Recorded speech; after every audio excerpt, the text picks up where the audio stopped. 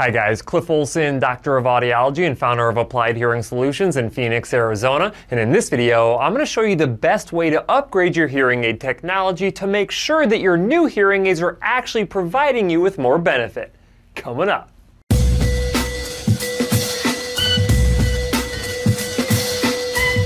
If you've had your hearing aids for over four years now, there is a solid chance that the new technology that's currently available would significantly outperform your old devices and at a bare minimum have new features that would make your overall experience a lot better. Since most major hearing aid manufacturers come out with new hearing aids approximately every two years, over the course of four years, that would mean that the technology that's currently available is two generations newer than what you're currently wearing. However, even if hearing aid technology is newer and designed with more features to help you hear even better, it does not guarantee that the amount of benefit that you would receive from these new hearing aids would justify spending a few thousand bucks to do the upgrade. But how do you figure out if the new hearing aid technology is actually better than your old technology? Because sometimes the answer to this question is not an easy one to figure out. That's why I want to show you the six step process that I take with every one of my patients who are upgrading to new hearing aid technology to make sure that they get more benefit with that technology technology than they did with their previous devices.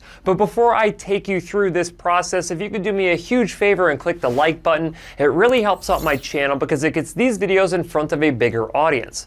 And while you're at it, if you have not yet hit that subscribe button with notification bell, go ahead and do that as well because that ensures that you never miss one of my newly released videos, and I release multiple new videos every single week. That being said, I really appreciate it. Now let's go ahead and take a look at what these six steps are. These steps include identifying which hearing aids to upgrade to, matching old amplification settings, creating new amplification settings, activating new digital features, completing at least a two-week trial, and performing validation outcome measures. Let's go ahead and start talking about identifying which hearing aids to upgrade to. Generally speaking, I'm a huge fan of upgrading to a technology that is in the same brand as the ones that my patients were previously using. Every hearing aid manufacturer processes sound a little bit differently, and if my patient's brain has already been tuned in to how that manufacturer processes sound, there's no reason to take them out of that particular brand. However, there are exceptions to this. For instance, if there is a hearing aid feature that is only available in one particular hearing aid brand, and my patient really wants that feature, then we're going to have to switch to that particular brand in order to get that feature. It also makes sense if they were never fully satisfied with that older technology, it would make sense at that point to jump ship and go to a different brand to test it out. I also recommend selecting new hearing aids that are at the same technology level or a higher technology level than the previous hearing aids that my patient was wearing. Obviously here we're looking for an improvement in hearing performance and it would not make sense to actually go down in tech level. For example, if you are currently wearing the Oticon Opn 1 devices and you're looking at upgrading to the Oticon More line of hearing aids,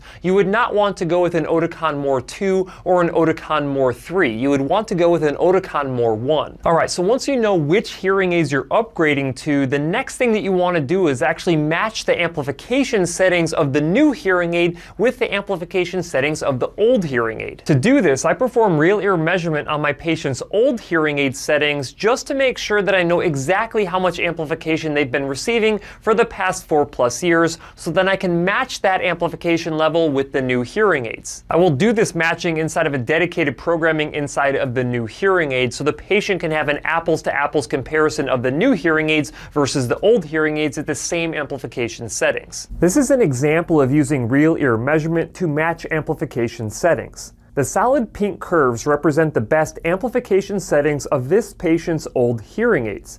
The turquoise curve represents the programming of this patient's new hearing aids. The goal here is not to match the turquoise hash mark curves which represent the new prescription for this patient's hearing loss. The goal is to match the patient's previous hearing aid amplification settings by overlapping the solid turquoise curve with the solid pink curve. This way, if there's a perceived improvement in the new hearing aids, we know that it is due to the new hearing aid technology being better than the old hearing aid technology. However, I also recommend creating at least one new custom program inside of the new hearing aids that we can use to match to the patient's hearing loss prescription precisely, because typically with new hearing aid technology, we are better able to match hearing loss prescriptive targets. This is an example of how to use real ear measurement to match the patient's new hearing loss prescription represented by the purple hash mark curve.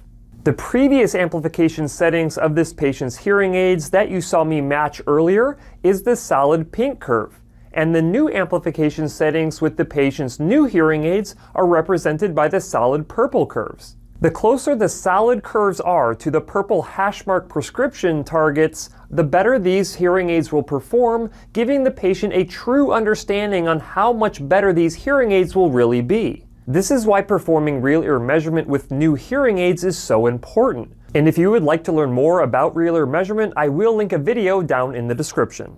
Then it's all about adding all of the new digital features that we typically see every few years from hearing aid manufacturers, whether this is better noise reduction, directionality, impulse noise reduction, Bluetooth capabilities, tap controls, and even other wireless accessories. Of course, some of these new features won't necessarily help you hear substantially better, but it is kind of fun to have new features on your new hearing aids to improve your overall hearing aid experience. Once all of this programming is completed inside of the new hearing aids, then it's time to actually take these hearing hearing aids home and use them in your normal daily environments. It does you virtually no good just to do an in-office demo of hearing aid technology because that is definitely not indicative of your normal daily life. Besides, it takes the human brain approximately two to four weeks to adapt to new amplification settings. So being able to make an assessment right there in the office on the same day is virtually impossible. You really need to take those devices home, let your brain adapt to them so you can get a full experience. However, before leaving their office, you should really be coming up with several very specific listening situations that you can use as a gauge to determine how much benefit you're actually getting from the new hearing aid technology. We call this performing hearing aid validation. This way you can get a much better understanding of very specific situations that the new hearing aid technology is helping you in and not helping you in. Evaluating hearing aid performance should never be done by asking you general questions like how does that sound or do you feel like you're hearing better. If you don't measure your performance with a validated outcome measure like the client oriented oriented scale of improvement or the abbreviated profile of hearing aid benefit or any one of the other validated outcome measures, then it's much more difficult for you to identify if you're actually getting significantly more benefit with the new technology versus your old technology. If the performance improvements are not enough to justify the cost of upgrading your hearing aids, then it may not be time to upgrade your hearing aid technology, or it may be time to actually try a different brand. Now, there is one other reason that you may want to continue on with upgrading to new technology, even if you do not see a substantial improvement in your overall experience with hearing aids is if you're spending a lot of money just getting a lot of out of warranty work done on your hearing aids,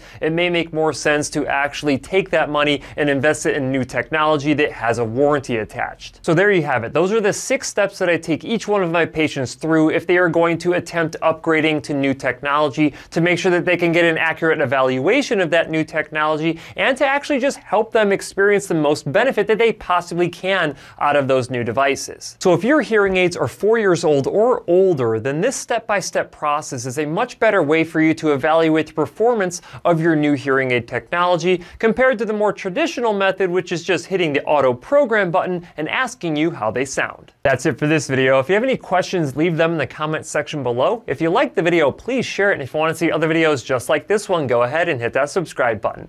Also, feel free to check out my website, drcliffaud.com.